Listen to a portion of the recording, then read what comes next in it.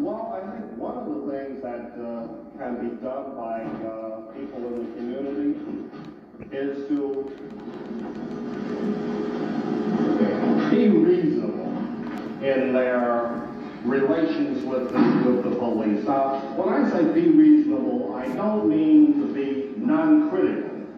But as I said before, let's uh, not let our criticism so cut the ground out from under the law enforcement men that we don't have any place on which to stand. I'm wondering what, uh, how feasible would it be if these particular policemen on the beat, in the uniform, would start forming, uh, you might say, conversation clubs.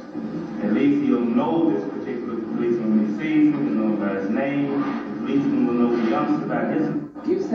don't have continuity of assignments or posts. And they did have this previously, didn't they? Where a man, you got to know the man in your, on your beat. And when you have a different man every week or every other week, he's not familiar with it. And this takes away some of your communication. I don't mean to put you on the spot, I hope this is an unfair question. But doesn't the police department recognize the value of having a Negro captain commanding the precinct to the extent of thinking of putting more Negro captains commanding the precinct in Negro areas?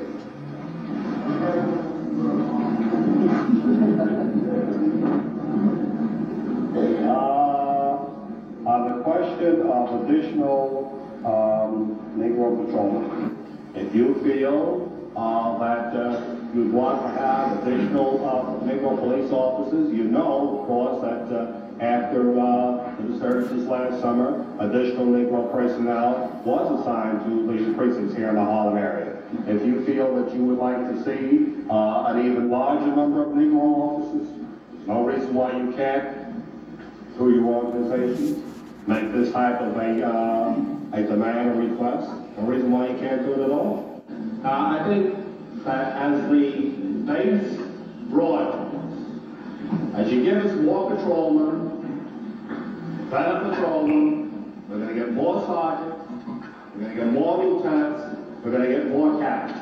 Later in the evening, as music filtered into the meeting room from a dance next door, Sealy got around to discussing talk of police brutality. My um, remarks to one thing you said, uh, and that is the fact that the hoodlum is able to cry either police brutality or discrimination or whatever the case may be to get off with uh, some um, illegal act that he is doing. I think this is something that we as people in the community have got to put a stop to. This is a tactic of a hoodlum. He knows the temperament of people today. He knows how powerful the racial issue is, and he seeks to utilize it for his own advantage. And as I pointed out before, his advantage can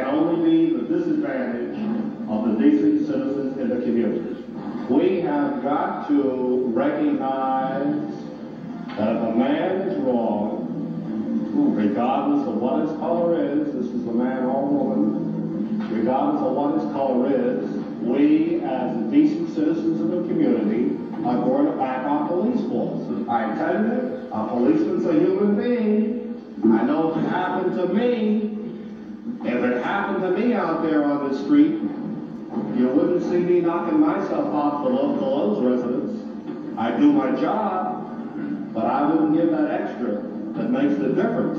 I know for certain that no one in here could tell me that if they walked out here tonight and walked into the arms of one of these woods out here, and he saw a cop coming, he's not going to look up to find out whether it's a white or colored cop.